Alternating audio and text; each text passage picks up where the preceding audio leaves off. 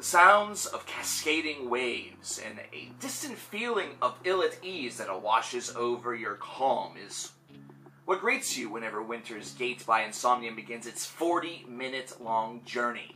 The journey that is similarly joined by the Vikings that are heading towards some uh, islands that are off the coast of Ireland in order to really set up the plot for this. A journey that seems very ill advised, something that should not be done based upon the forthcoming winter. Something that really doesn't seem like that this journey is going to have a very pleasant outcome. Insomnium themselves really had their own outcome in order to really, uh, I guess, manage the fate of. This was a very different idea by comparison to what they'd done in the past. And really, many felt that they could handle this sort of thing, considering they already were benefactors of longer songs, some reaching the 9 minute mark and going above the 10 minute mark. But 40, that's always one that's a bit harrowing, you know, whenever you do that full length 40 minute long cut or that epic song. And this being based off of a story that was uh, really released and published in Scandinavia, I believe in Finland in 2007 and 2008, and really everything that they've done to sort of accommodate the music alongside the story uh, really is kind of a sight to behold. They decided to sort of go full out, you know, all in with this, and I think it's really paid off for them considering it does give it a, a real marking of legitimacy right off of the bat, and it already paints intrigue and interest. The music itself, though, doesn't stay that calm or that you know that that swirl of cascading uh, you know waves for very long. It instead starts to launch into what Insomnium is known best for. Their breed of melodic death metal is one that has a definite sort of darker edge to it than what you expect whenever you hear the terms melodic death or mellow death. Instead, whenever you hear those words, you may think of In Flames and Soilwork, Dark Tranquillity, At the Gates bands of those distinction, but this is one that actually carries a little bit more of a doom overtone with it. One that certainly paints that emotion very, very briskly, but also very well throughout their compositions, and this is no different. This is one that has a certain resemblance of sort of pseudo celebration, either that or at least of pseudo everything is going to be okay, considering no doubt that the characters in this story that are taking this ill-fated voyage believe that nothing could possibly go wrong. What could possibly go wrong? Bugsy said from the distance, and then all of a sudden he remembered what franchise he was a part of.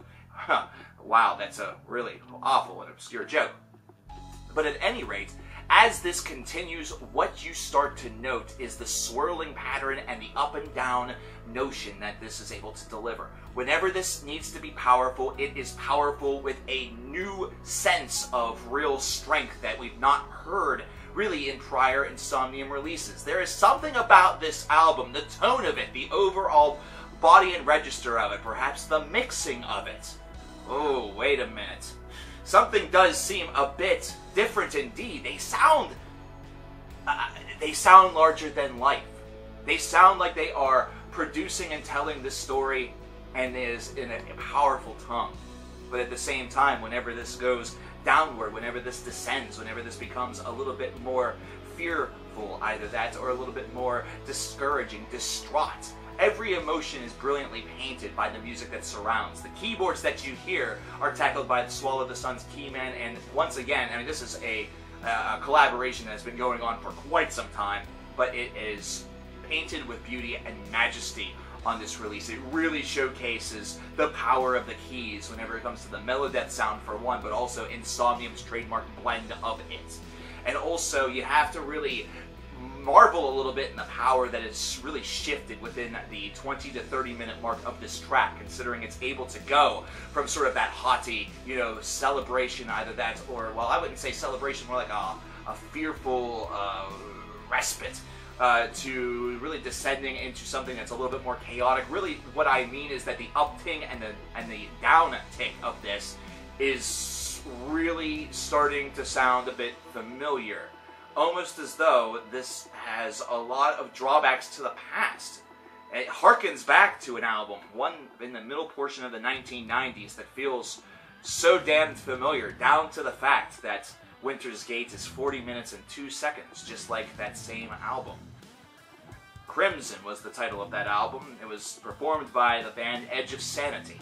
It's considered to be a heavy metal classic, one of the absolutely essential works of extreme metal that metal fans should consume. Those who haven't have certainly missed something and should certainly engage within it. Dan Swano's work alongside of Mike Åkerfeldt from Opeth handling some guest vocals, definitely giving this dynamic, dynamic song, this one track, a certain sense of almost invincibility.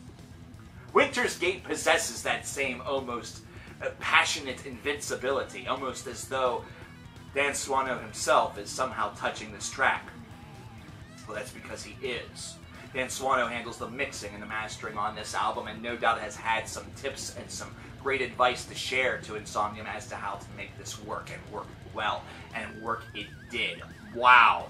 The emotion that you feel whenever you hear some of these riffs sort of coalesce and cascade over you is absolutely breathtaking. It can cause not only the hair on your arms to stand up, but it can also cause tears. The emotion is actually very real with this.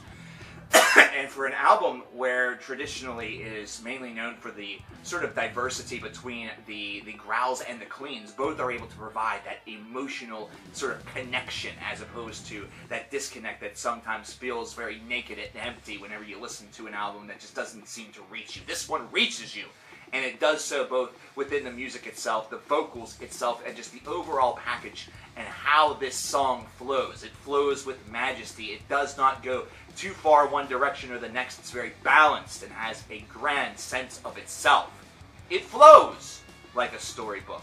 It flows as a story should. Those that uh, try to do concept records sometimes are ill-fated in doing so, considering they jilt around their compositions, they jilt around their narrative, they're not able to maintain balance between the two.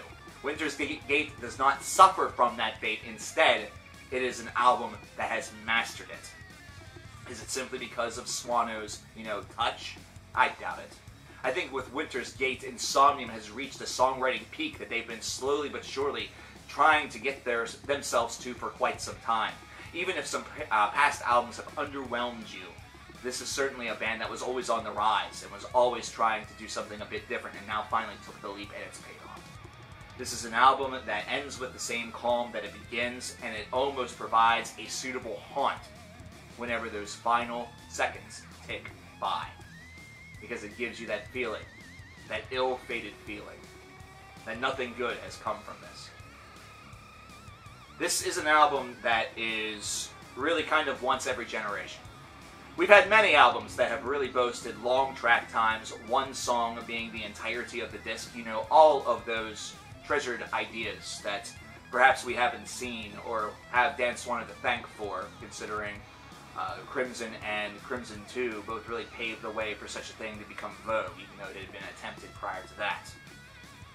But this is an album that's once in a generation because of its echoes back to that past, its echoes to Crimson itself the balance that's really encountered, the riffing is just at its peak. I don't think I've heard some better patterns or better construction as far as songwriting is concerned from Insomnium within their entire career. And that's bold. And that's something that makes this a generational album, one that instead of 15 to 20 years down the line, those metal fans talking about Crimson, they may be talking about Winter's Gate instead and speaking about the legend that is.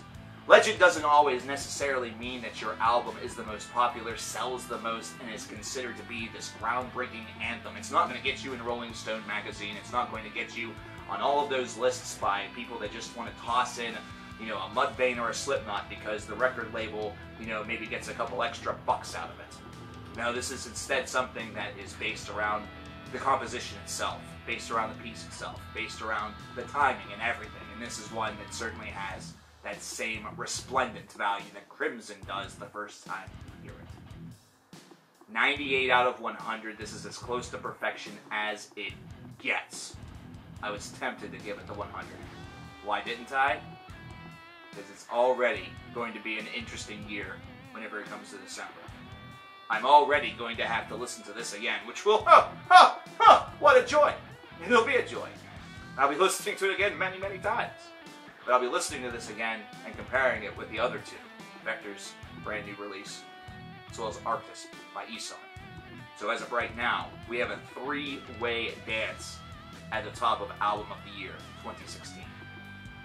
What are your thoughts and feelings on this? Do you feel the same? Is this something that is willing to be up in there in that pantheon of greatness for 2016?